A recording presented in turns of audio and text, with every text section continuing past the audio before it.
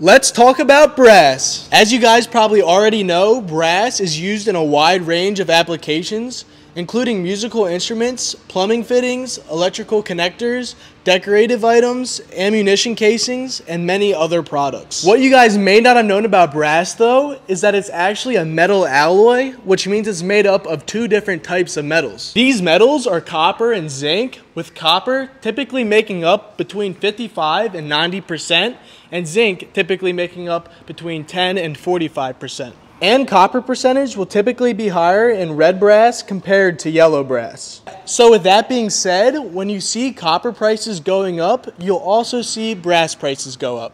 Thanks for watching everyone.